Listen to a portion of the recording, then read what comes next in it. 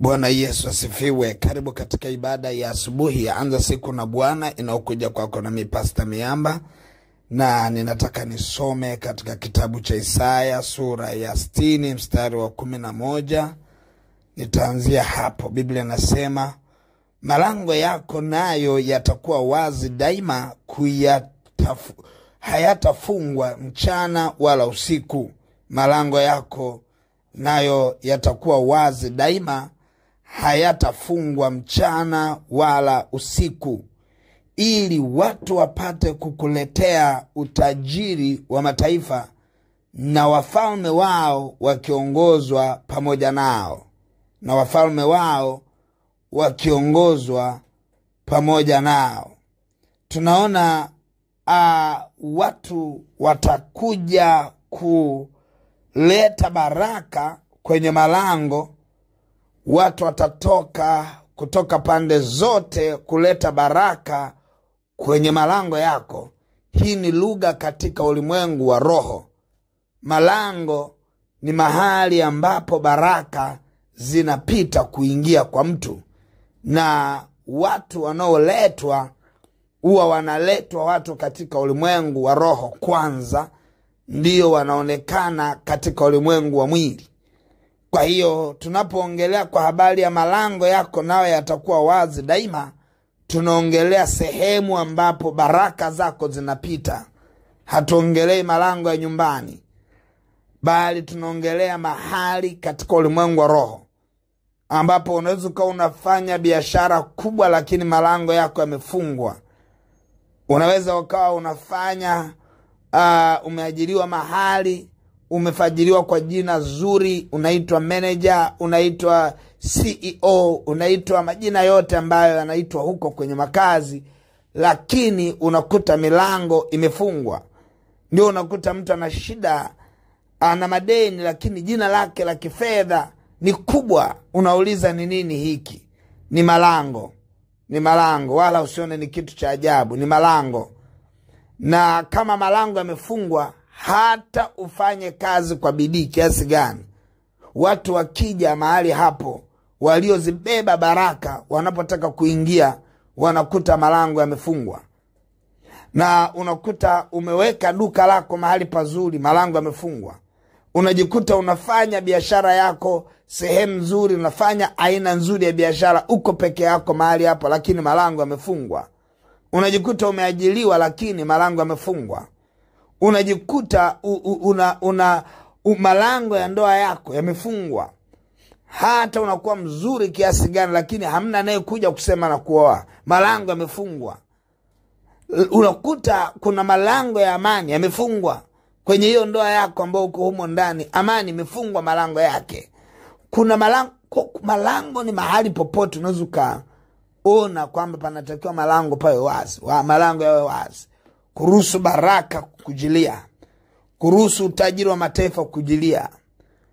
Na ndio maana ukisoma ile Isa ya, ya, ya, Zaburi ya ishirini na nne unakuta tena yanaongeleshwa malango. Ni vitu vya rohoni hivyo yanaongeleshwa malango yafunguke, ili mfalme wa utukufu apate kuingia.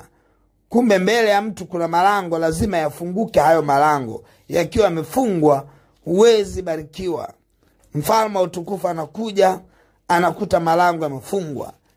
Mfalme wa utukufu anapokuja katika ulimwengu wa roho, tunaongelea malango. Inukeni vichwa vyenu, enye malango unakuta ule mstari wa saba katika kitabu kile cha Zaburi sura ya ishirini na nne anasema inukeni vichwa vyenu enye malango, inukeni enye malango ya milele, mfalme wa utukufu apate kuingia. Ni nani mfalme wa utukufu? Bwana mwenye nguvu hodari, Bwana hodari wa vita. Unaona, kinachoongelewa hapa ni malango katika ulimwengu wa roho. Kwao unaweza ukajikuta malango leo yamefungwa kesho malango yamefunguka. Nilikuwa naongea na mtu mmoja majuzi, alijiweka wakfu kwa Bwana, halafu akasema, nimeona baraka zikifunguka, nimeona nikiuza, nimechanganyikiwa. Lakini huyu mtu kila siku alikuwa na duka lake, anasema siuzi baba, siuzi, yani hapa siuzi. Mara baada ya kujiweka wakfu katika maombi, ameomba mara ghafla ameanza kuuza. Kauza kwelikweli ilikuwa ni juzi juzi jana ameuza kwelikweli nini maana yake? Alikuwa na duka lakini malango yamefungwa. Alikuwa na kazi nzuri lakini malango yamefungwa. Kwa kuna kitu katika ulimwengu wa roho ambacho ni lazima vitu hivyo ni vya rohoni sana hivi vitu ni vya rohoni sana. Lazima watu waweze kuingia katika roho kuweza kuyapambanua mambo katika roho ili waone matokeo katika mwili. La sivyo utaona mambo katika roho katika mwili hayaendi kumbe rohoni kumefungwa. Kwao tunaenda leo kuyafungua malango yetu. Kwa hiyo ambaye unaona kabisa kuna mahali malango yako na milango yako imefungwa. Kuna mtu mmoja nilikuwa ninaomba alafu bwana akaniongoza kwamba kwenye malango yako kumewekwa chujio. Hilo chujio kazi yake ni kuweka mipaka. Kwamba lango hili halitapitisha kiwango fulani cha fedha. Kwa mtu anajiona tu kwamba ana hela ana hela lakini akichunguza hela zake huwa zina mipaka. Yaani ana laki moja moja fulani hivi lakini haijawahi soma laki tano haijawahi soma milioni. Kuna mipaka hiyo mipaka huwa inawekewa kwenye malango chujio linawekwa kwamba wewe elfu kumi kumi kweli unazo lakini huna elfu hamsini. Elfu hamsini hamsini kweli unazo lakini huna laki. Laki laki kweli unazo lakini huna laki tano. Kwao unakuta mtu mwingine amebanwa hajaonaga milioni tatu. Mwingine amebanwa hajaona milioni tano. Kila mmoja unakuta kuna namna ambapo ana experience ya maisha yake kwamba fedha yake inaingia na kuroteti wapi. Yani yeye anachezea mipaka ipi? Ukija kushughulikia malango vifungo vya mipaka huwa vinaondoka. Malango nayo yawe wazi. Kwamba fedha huwa inazuiliwa wapi? Kwenye malango. Mipaka huwa inawekewa wapi ya fedha? Kwenye malango. Kwamba ikiingia fedha fulani unakuta katika malango inaingia laki tano malango yanasema imetosha. Au mtu mwingine ikiingia milioni moja malango anasema imetosha wengine wako kwenye viwango ambavyo labda milioni kumi ikiingia malango yanasema imetosha. Hata watu waje na baraka malango yanakataa. Yanasema imetosha imetosha imetosha. Lazima mtu mmoja adhamirie kwenda viwango vipya. Malango lazima yawe wazi. Tunaenda kuondoa vizuizi kwenye malango. Ushaingiaga duka fulani alafu uko na mwenzio. Alafu mwenzio anakuambia "We, bidhaa tulioko tunaitafuta hiyo hapo alafu anaambia naomba tuondoke tuondoke tuondoke tuondoke. Nitakwambia mbele ya safari tuondoke. Alafu kiondoka kule unaanza kwamba ah, pale kule yani unaanza kutafuta tu sababu. Lakini uliona tu kwamba unafukuzwa. Ni roho za mipaka hizo. Ni malango hayo katika shida. Kwenye malango hapo pana shida. Kwa hiyo unakuta malango ndio yanabeba uharibifu. Malango ndio yanaruhusu baraka. Nataka tuende mbele za bwana. Tukaombe juu ya malango yamkini wewe upo kwenye hali ambayo unahitaji kuona milango ikifunguka zaidi. Umewekewa mipaka kwenye milango yako. Umewekewa via, umewekewa umewekewa limit kwenye milango yako. Kuna mahali hujawahi vuka. Nataka twende mbele za bwana na utashuhudia. Twende mbele za bwana Baba, katika jina la Yesu Kristo wa Nazareti, Mungu liye hai, ninakuja mbele zako kwa moyo wa shukrani sana kwa vile ambavyo Mungu unatufunulia kila siku mkate wa kila siku, chakula cha uzima cha kila siku, unatupa maelekezo ya wakati ulioamriwa. Mungu liye hai, na kushukuru kwa ajili ya mtu mmoja ambaye anaenda kufunguliwa kwenye kona ya malango yake. Amekuwa akijishughulisha ni ukweli, lakini malango yake yana mipaka. Amekuwa akijishughulisha ni ukweli, lakini malango yake yamefungwa. Roho Mtakatifu, ninaomba katika jina la Yesu, unapomsikilizisha mtoto wako huyu neno lako na nguvu zako zinapotembea, anaposikia haya maombi, Roho Mtakatifu, ninaomba fungua mipaka katika jina la Yesu. Jehova, ninaomba fungua mipaka katika jina la Yesu. Roho Mtakatifu, ninaomba fungua mipaka kwa jina la Yesu, mipaka na ifunguliwe katika jina la Yesu, mipaka na iwe wazi. Roho Mtakatifu, ninaomba milango ikafunguliwe, mipaka iliyowekwa ikabomolewe. Roho Mtakatifu, ninaomba mtoto wako huyu ambaye amekuwa akipata fedha lakini zina mipaka yake, na hiyo mipaka, chujio lake limekaa kwenye malango, na milango yake inaweka chujio ya kiwango ambacho anatakiwa apate, imeweka limit ya kwamba haiwezekani akapata zaidi ya pale ambapo vitu vimeingia. Roho Mtakatifu, ninaomba kwa jina la Yesu, nguvu zako na mafuta yako yakafungue mipaka. Roho Mtakatifu, ninaomba na malango ya mtoto wako yawe wazi hata kuleta baraka na wafalme wakaongozane kuingia. Pasiwe na shida ya mipaka pasiwe na shida ya kuzuiliwa. Ninaondoa vizuizi katika jina la yesu. Roho za vizuizi katika malango ninaziondoa katika jina la yesu. Watu kuzuiliwa kuingia kwenye hayo malango ninaondoa roho chafu zinazowazuia watu kuingia kwenye hayo malango. Baba ninaomba toba kwa ajili ya malango mahali ambapo adui ameshikilia kwa muda mrefu mahali ambapo adui amenyanyua hati ya mashtaka mahali ambapo adui amepata uhalali katika ulimwengu wa roho kuyashikilia malango. Roho mtakatifu katika jina la yesu ninaomba neema yako ninaomba rehema zako mipaka ikaondolewe giza liondolewe mipaka ikaondolewe rehema zako ziwe nyingi rehema zako katika malango. Tupe rehema na neema kwenye malango e bwana. Tunamnyang'anya hayo malango lusifa hana mamlaka ya kukaa kwenye malango yetu. Tunamnyang'anya shetani na malaika zake. Hana mamlaka kukaa kwenye malango yetu. Tunambomoa shetani. Hana mamlaka kusogelea malango yetu. Malango yetu na yawe na moto wako roho mtakatifu. Malango yetu yawe na moto wako ulinzi. Hapata kuwa na vizuizi katika ulimwengu wa roho. Katika jina la yesu kristo na katika damu ya mwana kondoo mungu liye haya asante kwa maana adui hatapata nafasi. Adui hatapata nafasi tena kwenye malango yetu adui hatapata nafasi. Watu hawatazuiliwa kuingia kuleta baraka watu hawatazuiliwa. Roho za vizuizi hazitakaa kwenye malango yetu. Katika jina la yesu. Roho mtakatifu malango na yaachilie fedha na utajiri. Malango na yaachilie dhahabu na fedha. Malango yaachilie tunu manemane na uvumba vikapite kwenye malango. Kwa jina la yesu kristo wa nazareti mungu liye hai. Waliobeba dhahabu wapite kwa jina la yesu kristo.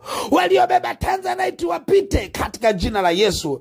Waliobeba silva wapite katika jina la yesu. Kila aina ya utajiri upite katika jina la yesu. Hawatazuiliwa katika jina la yesu. Waliobeba fedha za kigeni wapite katika jina la yesu. Zile fedha za kigeni tunaziita ziingie katika jina la yesu. Hazitazuiliwa kwenye hayo malango. Watu wake waliozibeba hawatazuiliwa kwenye malango. Nguvu zako e bwana zitawaita kuja kwenye malango yetu na wataingia pasipo kizuizi katika jina la yesu kristo wa nazareti ninakuangusha shetani. Unayezuia ninakuangusha adui. Unayezuia kwa jina la yesu kristo wa nazareti ulizuia watu wasitoe sadaka kwenye malango yao ili upate kuyamiliki hayo malango. Ulizuia watu wasitoe mafungu ya kumi kwa uaminifu kwenye malango ili upate kuyamiliki hayo malango. Ninakuondoa lusifa mlaaniwa mwenyeji wa kuzimu. Hawatazuiliwa watu kuachilia sadaka kwenye malango. Hawatakuwa na dhana mbaya ya sadaka kwenye malango yao.